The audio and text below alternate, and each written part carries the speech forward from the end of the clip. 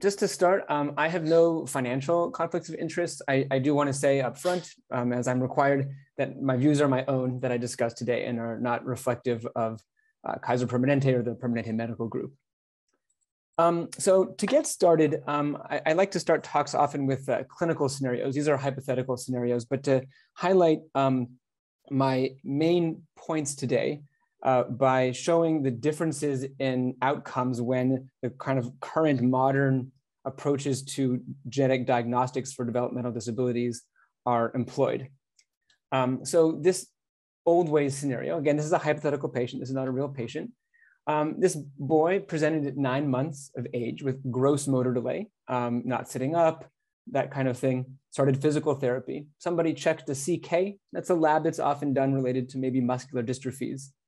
At 24 months, speech uh, delays were noted and speech therapy was started. At age three, um, the child was diagnosed with an autism spectrum disorder and had appropriate guideline-based testing, um, at least related to autism, and we'll go into more detail, a microarray and Fragile X. And the child started ABA um, uh, therapy, which is a therapy for uh, children with autism. At age four, the parents had a second child who presented at nine months with a gross motor delay. At age five, the, this child started, um, this again, AB, our first child started kindergarten and was having difficulty in school and had an assessment that led to an, an individual uh, educational plan, an IEP. And then at age six, he had a, a seizure that led to an MRI that was normal and a small gene test that was non-diagnostic. And then at age eight, he was referred to genetics who performed exome sequencing and finally reached a diagnosis. And I think anyone on this call who does clinical genetics work will recognize this story as a kind of a very classic story for uh, someone's odyssey from initial symptoms to a final diagnosis. So this is the current way, the way I would hope it would go. And you know, medicine is never so simple to have the ideal outcome, but this is uh, the, the model we should be moving toward. Um, so again, same child, same presentation with gross motor delay. And you'll notice that not a lot was done with the initial motor delay other than physical therapy, which is okay. Um, at 24 months, though, when the speech delays occurred, it was noted that this child was globally delayed, had delays in multiple areas of development. And that led to a referral to genetics and exome sequencing, which yielded a diagnosis at age two instead of age eight. So now this child had additional developmental testing done earlier because of the risks of um, ongoing uh, delays and uh, disabilities. And this led to an autism diagnosis and ABA therapy was started sooner. The parents discovered this was an inherited type of, of developmental disorder and used uh, pre-implantation genetic testing with IVF to have an unaffected child. Um, when the child started, this AB started kindergarten, he already had an IEP ready because this had been anticipated. When he had a seizure, because seizures were known to be part of this hypothetical syndrome and brain findings were rare, an MRI was determined not to be necessary. So as you can see, even though I did, I was very careful not to imply that uh, highly effective treatments for many developmental, developmental disabilities are likely to result from a diagnosis. I was careful not to include that as an outcome. You can see that there are a lot of benefits from an early diagnosis for the family, for the child, for the care team, and, and, and uh, avoiding unnecessary testing. And so most of the rest of the talk is going to be talking about how we get to this this ideal scenario, at least as often as, as we can. Um, so in two words, my thesis today, these are what you remember today, is that genetic testing for developmental disabilities should be done early. And there's always an asterisk with this. Um, there's such thing as too early. Some children with mild delays you know, improve quickly and that's all there is. But early when it's clear that there are global or significant delays and comprehensive, meaning the testing should be as broad as is, as is reasonable and feasible given the technology at the time. And again, lots of complexity there that we'll talk about. But um, these two words, early comprehensive, are the name of the game, uh, so to speak, today with genetic diagnosis for developmental disabilities. Um, this is a paper I'd like to start sort of 101, 102 level talks with. Um, this, it's already a little bit old now, it's, it's four years old, but it's still a great review and um, I'd recommend anybody interested in learning more about rare disease diagnosis take a look at this, this paper.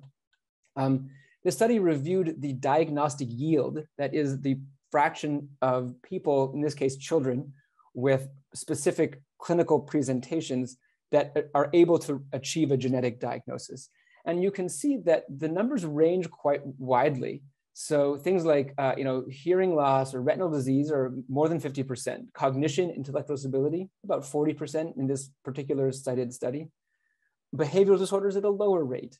Uh, cardiovascular at a lower rate. And so you can see, and these numbers are changing. They um, they are based on whatever the latest science on that topic is. But the point is that many pediatric conditions and adult too, as we'll hear uh, later in this conference, uh, have a have some fraction have an underlying genetic etiology that is detectable today. Lower yield situations, things like isolated cleft lip and palate, non-syndromic congenital heart disease, isolated autism, which I'll focus on later because this is about developmental uh, disorders, and joint hypermobility are conditions that have a fairly low yield from a genetic evaluation what kind of tests are used? So there's tons and tons of tests in genetics. I'm not going to be able to go into all of them. But again, this figure from this same paper that I've been talking about is a really good illustration of the major tests used uh, in diagnosing developmental disorders. Um, the main theme, as I know there's a lot on this slide, is that as the tests become more sophisticated, which is on these the two lines on the bottom, the diagnostic yield goes up, but the fraction of findings that may be difficult to interpret uh, also goes up. And that's not bad, but it just gives you an idea of the complexity. So a chromosomal test that looks just at the chromosomes under a microscope, a genetic test that's been around for more than 50 years, um, that would might be used to diagnose something like Down syndrome. Um, um, that's a that test has very few inconclusive type of results, um, but it also only detects a small number of disorders. When we talk about exome or genome sequencing, which are tests that sequence either all of the DNA, which is the genome, or all of the coding DNA, all of the genes, which is, excuse me, which, which is what exome is, yields tens of thousands, if not millions of DNA differences. And so the informatic, these software and, and human element that goes into interpreting these tests is simply much more demanding. In the middle, we have a test called a microarray, which I'll talk about in a moment. Um, that's a test that looks for extra or missing DNA. It's commonly used as a diagnostic test for developmental disorders um, and doesn't sequence the DNA directly. It looks to see if the DNA is there in the normal number of copies. Again, the same paper, just a great overview of pediatric uh, disease diagnosis. Um, another important concept to understand is specifically for developmental disorders is the relationship between the specificity of a phenotype, that means how um, unique a person's clinical features are, and the number of genes involved are related, in that the more unique a person's uh, clinical presentation, a clinical feature, the phenotype as we call it, the more unique, the fewer genes associated with it is the general pattern. And so we see something like cystic fibrosis. There's one gene that causes cystic fibrosis, and it's a very unique pattern of features to cystic fibrosis. At the other extreme, we see intellectual disability. Um, intellectual disability is the very much more complex than uh, and and not as not as specific as the organs involved in cystic fibrosis, and therefore, not surprisingly, has many more genes associated with it. And that is why genetic testing related to intellectual disability needs to look at a lot of genes. Uh, trying to narrow testing, which is um, what I had spoken about in the kind of first scenario earlier on is, is difficult when the potential genes involved are, are many. So what tests are used to evaluate intellectual disability? So we talked about a microarray that has been recommended as a first line test since 2010 uh, for children with autism or uh, developmental delays or multiple anomalies. Next generation sequencing, which is the technology behind exome and genome sequencing. Again, exome looking at the genes and genome looking at the genes plus the DNA between them, which is not as well understood. Fragile X um, is often tested on its own because of the nature of the DNA lesion in Fragile X, and it is a cause of, developmental disorders. And then targeted genetic or biochemical testing, which I, I, use the word targeted a lot because, as I'll come back to, in the context of a uh, developmental disorder without a really clear additional features that suggest a metabolic condition, um, a lot of tests are not very high yield. They don't, they're not often likely to give a diagnosis and they may not be a cost-effective approach. And I'll talk more about that in a little bit too. So again, a word on microarrays. They've been first line for developmental disorders since 2010, but they are becoming a little more obsolete because exome and genome technologies are able to detect copy number differences, that is extra or missing DNA, um, more robustly. And um, I haven't seen any official word, but I would say that um, many now accept that uh, exome or genome is similar, if, in, in, for, in the case of genome, possibly better than array uh, for detecting um, most copy number variants. There are many different platforms for running arrays. There isn't one array. Every lab that does it does it a little bit differently. Um, one technology, which is called comparative genomic hybridization, basically takes a patient sample, a reference sample, mixes them together, and looks to see how they compete.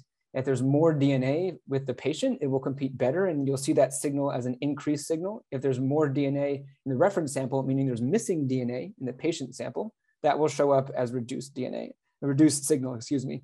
And those can be linked to positions on a chromosome. And there are many genetic conditions due to extra or missing DNA. Um, you know, 22q deletion syndrome or DiGeorge syndrome is the most common what we call microdeletion. That is a deletion that is too small to be seen with a microscope, but can be readily seen on a microarray. And that disorder does, in, in some cases, cause developmental disabilities. Next generation sequencing, the technology behind exome and genome, takes the patient's DNA, uh, represented here in these rainbow bars, shreds it, sequences the little pieces, and then reconstructs it in a computer to generate an, the patient's sequence, which can then be compared to databases to determine if there are any differences that might be clinically meaningful. Now, there are um, some limitations. So the patient's genome looks like this. There are these boxes are genes and the in between are, they could be introns, they could be areas between genes. The point is that our DNA contains sequence that we know what it does and sequence that we don't know what it does. And that's what's represented here. Um, and there can be missing pieces, but the test sees fragments. Next generation sequencing technologies that are used clinically today are what we call short reads. They look at very small pieces of the DNA. And so it can be hard to see, for example, that this red box is only present in one copy just by counting the number of red boxes. So some things that um, next generation testing doesn't see, these aren't to be memorized. I'm just trying to make the point that no test today is perfect. So um, some genes uh, are not fully sequenced. There's parts of the gene that for whatever reason are difficult to sequence or maybe um, aren't even in, even coding that we don't, we don't know what the function of that region of the gene is and they aren't tested. Um, methylation defects, so disorders like uh, Prader-Willi syndrome, can be caused by disorders that aren't due to a change in the sequence, but are due to changes in a, a modification of the DNA, and that requires dedicated testing. Repeat expansions, so Fragile X or Huntington disease, um, are caused by expansions of a recurrent sequence in a gene. And some next generation technologies have difficulty seeing that, although there's progress in that front. Deletions, like we talked about, um, although again, that's also improving and technologies now are more able to see deletions, especially multiple exon deletions. Um, and then chromosomal disorders like a translocation, where a piece of a chromosome is moved to another chromosome. When you shred the DNA up, that information is lost. Um, there are technologies that can detect all of these, um, but the ones that can do them all, do the, the detection all in one test, as far as I know, are still research technologies. So now that we've talked about the tests, let's talk a little bit about how they perform in, in diagnosing uh, intellectual disability. So this is from a, a review. Um, it's 2015, wasn't that long ago, but it feels like it, in, at least in terms of progress. And so we can see that the number of genes uh, related to intellectual disability has gone up consistently and has gone up much more quickly since the advent of array and then um, exome and genome technologies. And these, these lines would keep, keep going up if we extended this chart to the present day. Um, and similarly, the diagnostic yield has gone up over time. Um, you know, I would say that 60% is, is a little on the optimistic side, but it's not far off. Um, and, and, you know, we're, we're coming close to the point, I think, where um, we may be crossing that kind of 50-50 line where, for making diagnoses, especially in cases that are syndromic or have uh, more severe effects and are, are more mild. And I'll talk about that a little bit. Um, so um, when we see, when we do these tests, array ACGH is that's the microarray test, and then genome-wide sequencing is exome or, or genome. Um, there are a lot of studies that have been published looking at how frequently a diagnosis is made when uh, using these technologies in individuals with developmental disorders. And the number, that final number, the percentage, is really different. And so it's important to realize that a lot of what comes out of these studies depends on what went into the studies. So um, patient selection is huge. Some of these studies are looking at patients who've already had extensive genetic workups and are already going to be hard to diagnose. And those studies will have lower yield. Some studies are doing testing on patients who've not had any evaluation. Those will be higher yield. Some studies are taking consecutive patients seen in a particular clinic. Those will be lower yield because they're not selecting carefully. Other studies will handpick patients that are the most likely clinically to have a genetic disorder. Those will have a higher yield. So there's a lot of variation. Um, so higher yield though, clinically, the more severe, this is a general, general pattern. It's not um, an absolute rule. The more severe the developmental disorder, the more likely there is to be a genetic cause that we can identify today. Um, syndromic features, so that means not just delays, but either facial or organ system differences um, also increase the probability of a genetic cause. And then of course, the lack of alternative explanations, such as maybe prematurity. Um, lower yield are um, features such as on, the, the, only developmental concern being isolated autism or mild, milder learning or intellectual disabilities. And um, in, some cases, because uh, you know, as you can imagine, development and, and intellect and cognition are very complex. Um, it's also known that some people's differences in their abilities are multifactorial and due to many genes.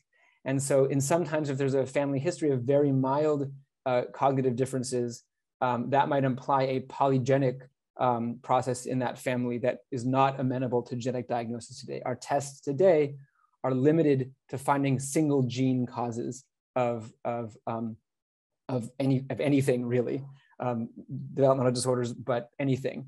Uh, genetic processes that totally exist that are caused by many genes acting, acting together are still not, not completely, but pretty much completely inaccessible to diagnostic testing today. Um, so this study here that I'm showing you the, the front page of, um, this is, this is, there's many studies like this, but I like this one, so I'm, I'm showing it. They looked at global developmental delay or intellectual disability.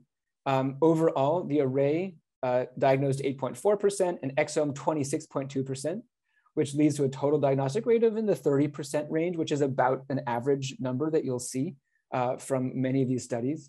Um, and you can see that the number goes up when there are syndromic features, when there's macro or microcephaly, and goes down when um, there aren't syndromic features, as I, as I discussed. And I'll come back to this study in, in some other context in, in, in a moment, moment.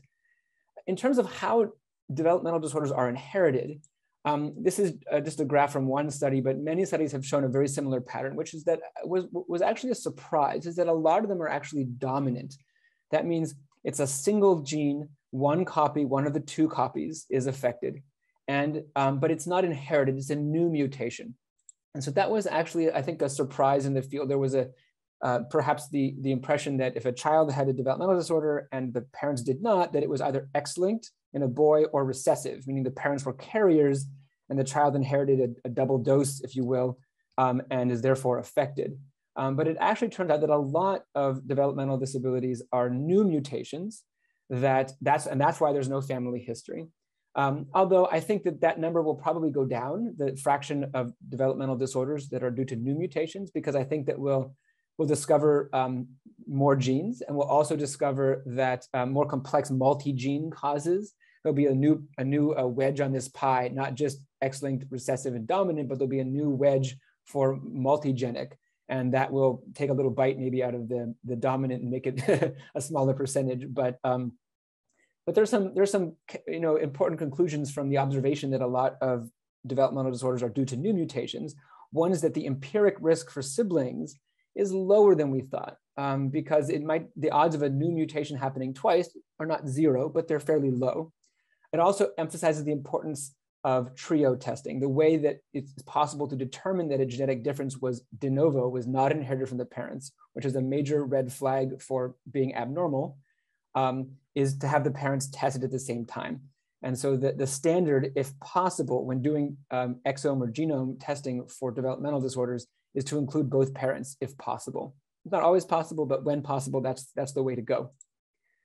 Um, so in 2021, the American College of Medical Genetics and Genomics um, whose actually national um, annual meeting is happening this, this week, um, issued a statement on the use of exome and genome sequencing for pediatric patients with um, cognitive anomalies, excuse me, congenital anomalies or intellectual disability. And so I'm just going to read it because they said it better than, than I'm going to paraphrase it, which is that the literature supports the clinical utility and desirable effects of exome or genome sequencing on active and long-term clinical management of patients with congenital anomalies, developmental delays, or intellectual disabilities, and on family-focused and reproductive outcomes with relatively few harms. Compared with standard genetic testing, which is uh, which I which is targeted testing, trying to trying to look at a few genes or a few disorders at a time. Compared with standard testing, exome or genome sequencing has a higher diagnostic yield and may be more cost effective when ordered early in the diagnostic evaluation. And I, I did want to point out that in this study, they stated that isolated autism without intellectual disability or congenital malformation was out of the scope of that recommendation. So I wanted to, to spend a little bit more time on this because they said not only is it um, beneficial, but it's cost effective. There have been a number of studies published in the last several years looking at workflows to diagnose developmental dis, uh, disorders and um, and the uh, the the cost effectiveness of those workflows. And so this was a study in, in JAMA Pediatrics where they compared four pipelines basically. Basically, one was trying to figure out the diagnosis based on clinical features. The second one was trying to figure out the diagnosis, and when they were everyone was ready to give up, doing exome sequencing. And then the, uh, the last two were doing exome without even before trying to figure it out. And they found that the most expensive option per diagnosis was to, was to solve it, you know, the old fashioned way by clinical features. Um, the most expensive per patient was to do exome only after an attempt to make a diagnosis based on features. And the most, the least expensive per patient and per diagnosis was to do the most comprehensive workup early. And I think that's this, this is not the only study that has shown this exact same pattern. And I think that's a big reason why the ACMG made the statement that they made is that broad testing is the highest yield. And um, so doing it first makes the most sense if you think about it. And, so exome has moved from being the test of last resort to really being a first line or second line test. And that is now kind of codified in official guidelines. Um, this is another group um, that uh, this is a neurodevelopmental disorder um, uh, review group that published a paper with similar recommending that a person with um, developmental disorder should have an exome first. That is kind of the first line test. If the exome test includes good detection of deleted or duplicated DNA, then that's it. Or a microarray, possibly second, if, if the exome did not include that testing. Um, the ACMG recognized both workflows as acceptable, a microarray and then a broad sequencing test or a broad sequencing test with or without a microarray um, afterwards, depending on the technology that was used. Um, so what about clinical utility? What's the point of doing all this testing and making diagnoses? So, you know, having, I haven't done it in a while, but having dealt with insurance companies, sometimes there's a bias where like, if it's not curable, it doesn't matter. And that's a little nihilistic. I, I don't, I can't live that way. Um, and the ACMG, um, you know, uh, has their own view. So physicians sometimes vary, but the ACMG in the 2015 statement said that um, genetic results can be useful if they inform treatment or just prognosis, knowing what the future holds, if they inform reproductive decisions for the family, um, if it allows the, the patient or family to be involved in a disease-specific support group, which can be very meaningful to patients and families, if it simply saves costs from a wasteful diagnostic odyssey, or for benefits to society such as research. Um, and so I, I, you know, I'm a big proponent of making diagnoses, even if there's no treatment for these other reasons. I will say that occasionally there are cases where none of these apply. I've certainly had patients or families come where the patient is older, no one's having children, they're not interested in, in, in a support group, and no one's doing tests on them. And occasionally, you know, I, I to be fair, it, it's not that every case has to have the maximum workup, but I do think it's important to consider all of these uh, parameters uh, before deciding not to pursue an evaluation. Um, so this is kind of trying to put um, what I've spoken about together into a kind of a simplified graph that's I think hope, useful, hopefully for clinical management. And, and um, so this is definitely an oversimplification, but I think it, it, it makes the points really clearly. So if we think about neurodevelopment along a spectrum, from on one extreme being neurotypical, to the other end having a profound developmental disorder, um, there's a lot in between. And these, again, this is definitely an oversimplification. Please forgive me, um, but I'm trying to trying to make a point. So, you know, in the ID intellectual disability range, you can be mild, moderate, or severe. On the, I don't want to say milder because I think that doesn't give justice to how some some of these things can be quite uh, uh, impactful in someone's life. But um, in terms of the degree of impairment, in terms of cognition, things like ADHD, sensory processing disorders, isolated learning disabilities, maybe dyslexia as an example. Um, and then you have things like high functioning autism or more isolated autism. Um, these are these are sort of a spectrum. Again, very oversimplified, but bear with me. I also would add sort of non-neurodevelopmental, so global delays, not just cognition, but also um, you know motor delays, uh, you know ataxia, things like that that are delays in other areas of development, and then syndromic presentations, which could be anything involving other organ systems. Using this sort of spectrum, I would say that the current common practice and guidelines would recommend that anybody on this side with this sort of line um, should have a microarray uh, at a minimum, and anyone on this side should farther should have exome or a similar broad sequencing based test. Um, and I, I, not everyone will agree with me. I'm, I'm not claiming that this is like written in stone, but I, I, as I understand published guidelines and common practice, I think this is uh, an approximation of, of those.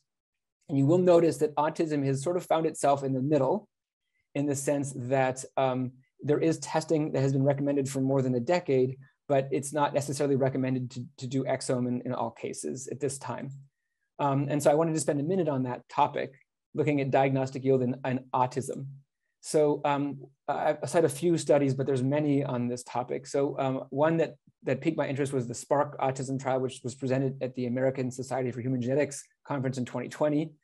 And they, um, they reported an 8% diagnosis rate in autism, half of which were on array. 50%, 52% of them were new mutations, and a lot of them were not maternal, meaning the father wasn't available. This goes back to what I said before, that um, a lot of developmental disorders that are detectable by genetic testing today are new, new mutations. They're not inherited. Um, some are in, in maternal, and there's some evidence that some single gene causes of autism don't affect females as often. And so you, uh, not a high rate, but there can be situations where the mother is not as affected and then a, a son, for example, might be affected. But not a lot of them were clearly, you know, recessive or X-linked like we thought most things were. This rate, though, the diagnostic rate went up if there was a cognitive or intellectual impairment. Things like seizures increased the risk considerably, or if they were nonverbal after age five or had birth defects. And that's a really important point is that the rates of diagnosis of autism go up a lot if there are other physical or neurologic features. And then the diagnostic rate was about 4% if high functioning. And given that half were on array, it's about a 2% yield for additional sequencing. Um, so again, this is the same study I started at the beginning, and we saw you know diagnostic rates of like you know 10% maybe more for array and 20, 50%, 30% for exome. Those numbers are a lot lower for autism. For uh, looking at all the autistic patients in this study, the diagnostic rate from exome was only 6%. Um, and for isolated autism, it was zero. Um, and the, you didn't start seeing more, ca the cases that had diagnoses from autism all had additional features, epilepsy, micro macrocephaly, or other syndromic features. And this is what leads to the common practice, although again, controversial, I will definitely acknowledge that, of um, that, that broader testing beyond array is not high yield and not necessarily recommended for isolated autism. I will stress, however, that this does put more burden on developmental specialists to clearly delineate between children who meet DSM-5 criteria for autism and who do or do not have additional features. And that's, that's an important thing to, to, be, to be aware of. Sometimes children get diagnosed with autism at young ages, maybe you know, two years or less, and it may be hard to assess for intellectual disability. And it's very important to keep in mind that if, you know, in the, in the future, if that child shows signs of intellectual disability in addition to autism, that the indicated genetic testing increases and they should have that testing. Um, just a few words on Fragile X. Um, this is an X-linked condition, can definitely cause a range of developmental disorders. There have been a number of studies out questioning whether this should really be the first thing we test. The truth of the matter is, if you look at the data, that if you take children with, you know, predominantly boys with um, developmental disorders and test them Fragile X, the fraction that don't have a clear X-linked family history or physical features of Fragile X that end up having Fragile X is extremely small. Um, the flip side is that Fragile X is not routinely tested on, it's not on the array, it's not on an exome. So if you don't test for it, you won't ever catch it.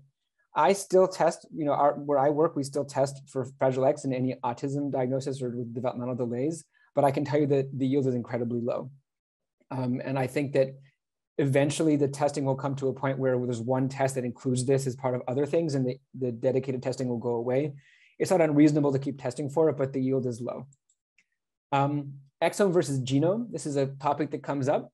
So um, there have been very few head-to-head -head studies. This is one that I found, this is not done in the context of, of developmental disorders. This was done in the context of sick infants in the NICU setting. And um, they, they did rapid exome or rapid genome, and the genome performed better on every metric except the final diagnostic rate where they were the same. Um, and I think this just speaks to the fact that the vast majority of the DNA we understand in the genome is in the exome. And so even though genome has some major advantages to it, at the end of the day, we're still learning what the non-coding parts of our DNA do. And so genome does not have a huge lead yet yet for um, diagnosis over exome. So um, that said, in the literature, there are many examples of diagnoses that were missed by exome that were picked up by genome, but those were in very selected patients. Those are not on a population scale. I've not, if, and someone's aware, please let me know. I've not seen a population scale head-to-head -head comparison of exome and genome in a, in a large population. Um, but I'm hoping, I'm sure someone's working on that. So that's a good kind of future direction uh, for the field.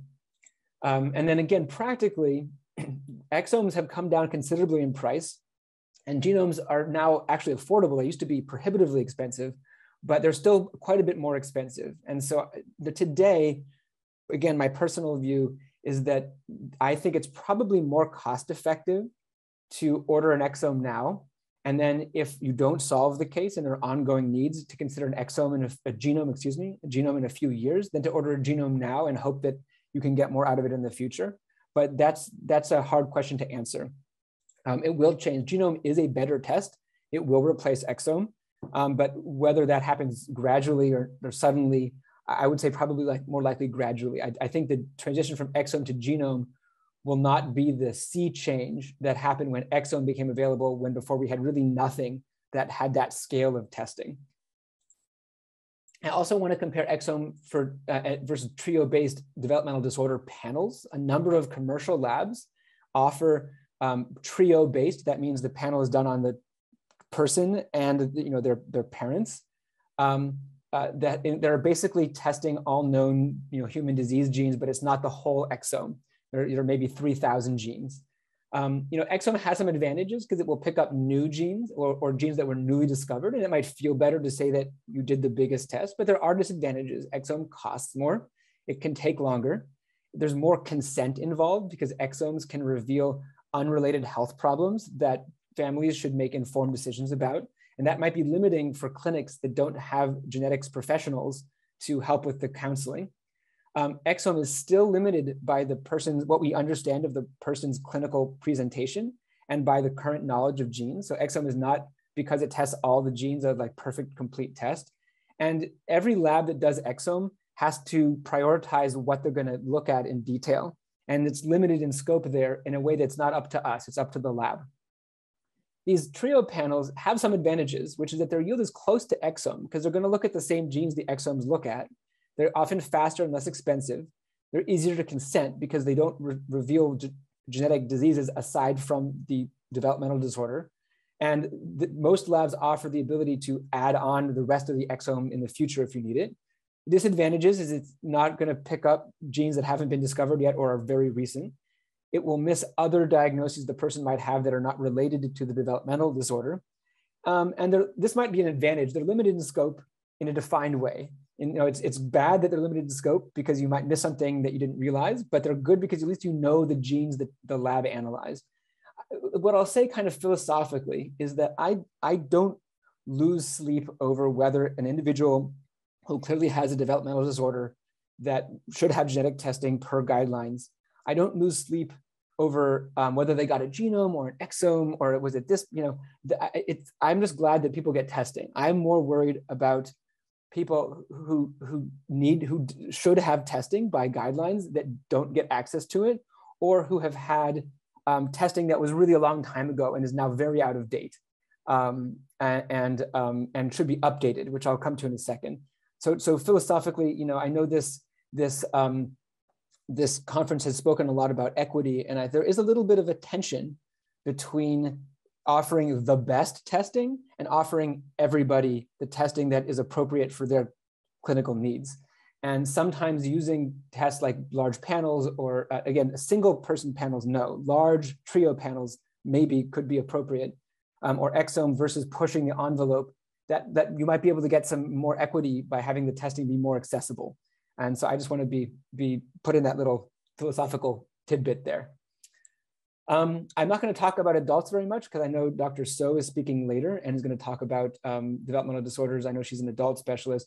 Needless to say, uh, children who grow up into adults and have developmental conditions um, have the same conditions they did when they were children and are have the same diagnostic yield. Um, and so I think it's very appropriate to evaluate adults, um, you know, as needed.